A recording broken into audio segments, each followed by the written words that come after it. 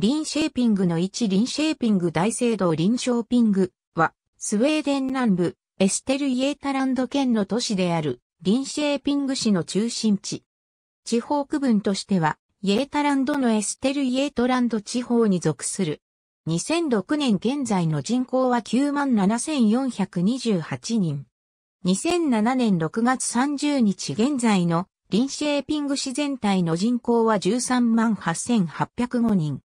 リンシェーピングは12世紀には、スウェーデンの宗教的中心地となっており、今も残るリンシェーピング大聖堂はこの地に、司教座が置かれ、古くからエステルイエートランド地方の中心地であったことを示している。13世紀から14世紀にかけて、都市としての機能が次第に確立されていった。1590年代には、中央政治の清掃に巻き込まれ、対立は1598年のストンゲブローの戦い、1600年のリンシェーピングの地欲で頂点に達することになる。17世紀初頭の宗教改革は、都市リンシェーピングにとっては、経済的打撃以外の何者でもなかった。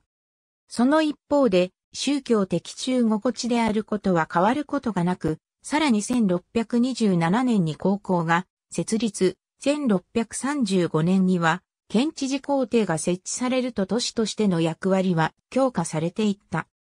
17世紀中頃、リンシェーピングの人口は隣のノーショーピング市の発展や海外貿易政策のためにさほど増加の傾向は見せなかったが、1740年代になると人口の増加が顕著になる。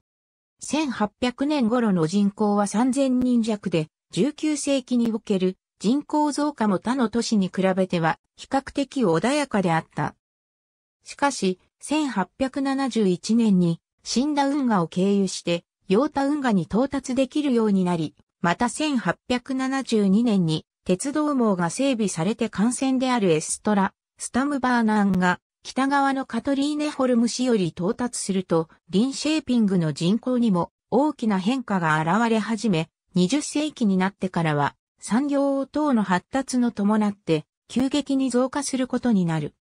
現在のリンシェーピングは、リンシェーピング大学のメインキャンパスが置かれているほか、産学共同によって設立された IT 関連企業の本拠地として、サーブやスウェーデッシュミーツなど大企業の進出先として注目されている。リンシェーピングにおいて、最大の雇用企業の一つは、ソブでサーブ39グリペンなどの戦闘機や、近距離用総発ターボプロップ旅客機のサーブ340を含む製品を製造している。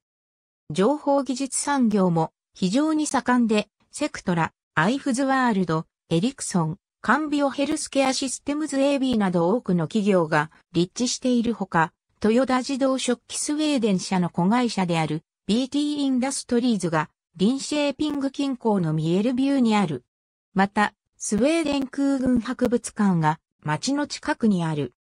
リンシェーピング中央駅は SJ の特急 X2000 が停車するため、ストックホルムやマルメ、コッペンハーゲン等他の大都市への移動が非常に容易である。エスキルストゥーナを経由してベステロースとは比較的頻繁に電車の連絡がある。ありがとうございます。